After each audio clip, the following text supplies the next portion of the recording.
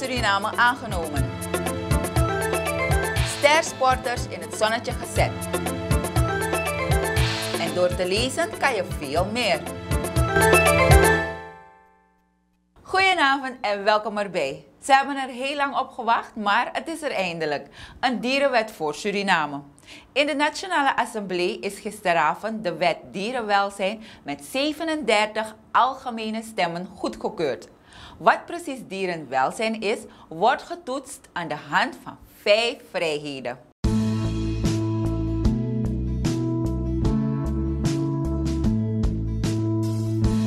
Uh, dieren zijn vrij van pijn, verwonding en ziekte. Er, is sprake van preventie en snelle diagnose en behandeling. Eigenlijk is dit goed voor alle dieren in Suriname. Eigenlijk moet dit in alle landen gebeuren. Omdat dieren gaan dood. Wat gebeurt er? Niks. Ze graven hem, ze gooien het weg. Dieren zijn vrij van ongemak. Ze hebben een geschikte leefomgeving, inclusief onderdak en een comfortabele rustplaats. Dieren zijn vrij van angst en stress. Er is zorg voor voorwaarden en behandelingen die geestelijk lijden voorkomen. Wel, dit is belangrijk. Ik vind het wel belangrijk voor mij. Ik weet niet van andere mensen. En kijk, dieren hebben ook gevoelens. Voor, net als hoe mensen hebben. Je kan geen dieren zomaar doodmaken. Dieren zijn vrij van honger en dorst. Ze hebben gemakkelijk toegang tot vers water en een adequaat ratsoen. Mm, hieruit begrijp ik dat alle dieren hebben op eten. Hieruit begrijp ik dat alle dieren hebben op eten. Zoals wij mensen ook eten, moeten dieren ook eten. Ze zijn niet dood. Net als hoe wij leven, leven hun ook.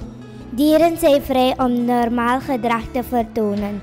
Ze hebben voldoende ruimte, goede voorziening en gezelschap van soortgenoten. Dus dieren mishandelen, in kleine kooien houden, hen brandmerken, niet op de juiste manier vervoeren, maar ook gevaarlijke dieren kweken zonder toestemming is vanaf nu strafbaar. Surinamers houden vaak wel van dieren.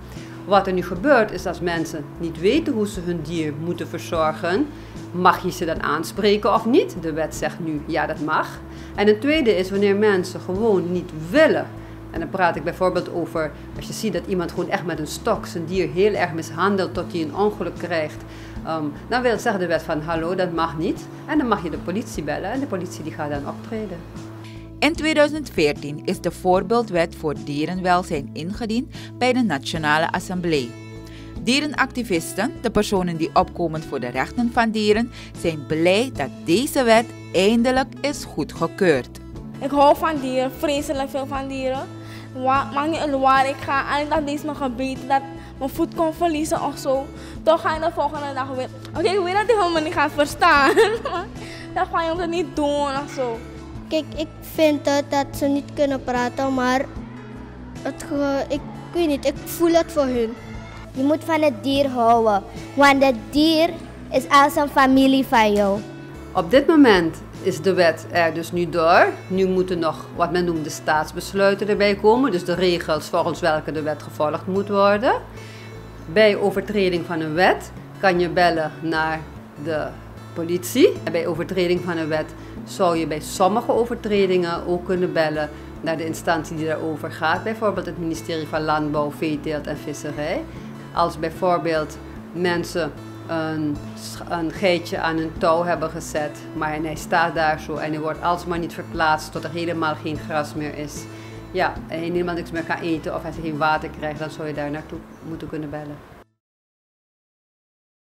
Om iedereen te vertellen wat deze wet inhoudt, zal de overheid voorlichting geven.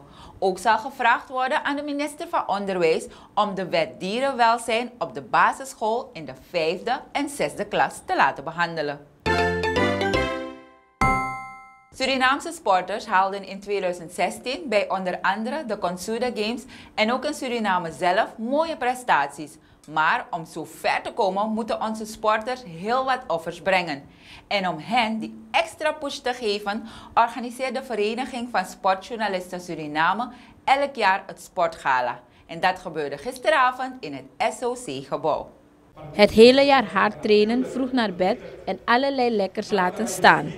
Allemaal dingen die jonge sporters vaak moeten doen om het beste in zichzelf naar boven te halen. Sommige sporters waren afgelopen jaar heel succesvol en het is dan belangrijk dat ze daarvoor ook extra voor worden beloond. Ik denk dus dat er niks beter is, beter is dat wanneer je prestaties bereikt, dat je daarvoor wordt beloond. En de Vereniging van Sportjournalisten meent dus dat in elke tak van sport wij ervoor moeten zorgen dus dat sporters, als ze uitzonderlijke prestaties leveren, ook die erkenning krijgen. De sporters die bijvoorbeeld de Olympische Spelen hebben behaald, zijn een enorme motivatie voor de jonge sporters in ons land. Zij zijn de toekomst. De sporters onder de 18 kregen daarom een speciale prijs die meest belovende sporter van het jaar werd genoemd. Zij zetten door, want zij willen het hoogst mogelijke halen binnen hun tak van sport. Wel, sowieso hard trainen. Ik moest veel verdragen van mijn trainers, maar ik heb het toch gedaan. Maar um, ik moest echt veel slapen, want ik moest echt veel energie hebben voor de training. Om dit te verdienen was alleen maar hard trainen, hard trainen, hard trainen. Uh, wat ik nog wil bereiken, ik wil gewoon doorgaan met de sport en kijken hoe ver ik kom. Dus wereldkampioenschappen, Olympische Spelen. Ja. Nu zijn ze nog meest belovende sporters van het jaar, maar wie weet staan ze binnenkort als de beste sporters van het jaar op dit podium en zijn zij de grote inspiratie voor de anderen die na hen volgen. Zoals Sandrina. Zij werd uitgeroepen tot de beste vrouwelijke sporter van 2016. Nou, het voelt, um, het voelt heerlijk aan. Uh, mijn hart is blij. mijn hart is verwarmd door die waardering. En om een waardering te krijgen als deze is, uh, stel ik zeer op prijs. Dat lezen veel kan helpen om jezelf verder te ontwikkelen, weet je al. In Peru zijn Liz en Eddie het Kigote-project begonnen, speciaal voor de kinderen van de buurt. Hiermee willen zij de kinderen zoveel mogelijk motiveren om te lezen. Hoe dat precies in elkaar zit, zie jij vanavond in Warda News for Kids.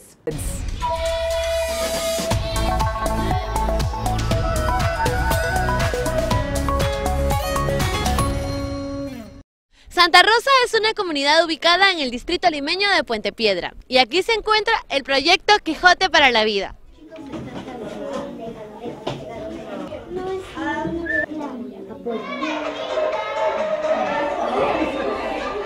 Soy Harumi y estamos en el proyecto Quijote de la Mancha. Es que yo imagino como Quijote me ayuda cuando yo leo, me aprendo a leer. Yo vi a, a, mucha gente del Quijote que le gustaba tocar muchos instrumentos y yo quise entrar ahí y cumplir mis sueños. Kinderen van Santa Rosa houden nu van kunst, sport en cultuur. Dit allemaal te danken aan Liz en Eddie's gedeelde droom. Een koppel dat sinds 2007 het project Quizote voor het leven is begonnen.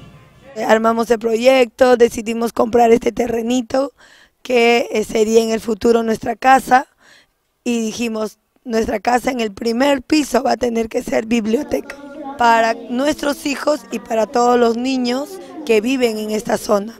Todo nació con la lectura, ¿no? teniendo como referente al Quijote como símbolo, pero la lectura nos lleva a otros caminos. La lectura nos lleva a la danza, porque los niños siempre eh, están desarrollando estas actividades artísticas. La lectura nos ha llevado a la gimnasia artística, donde ahora nuestros niños tienen la oportunidad de practicar este deporte hermoso. La lectura nos está llevando a la música, ¿no? Queremos que nuestros niños sean formados de manera integral. Acá hago gimnasia, lectura y leo cuentos. Me gustaría ser de grande una gimnasta. Y yo ya estoy viendo a tocar otros, otros instrumentos, yo quiero seguir en la música. Que ellos anden con sus libros bajo las manos, que anden con su flauta, caminen con un violín, con una guitarra y que se junten a hacer esas cosas tan, tan provechosas que los ayudan a crecer.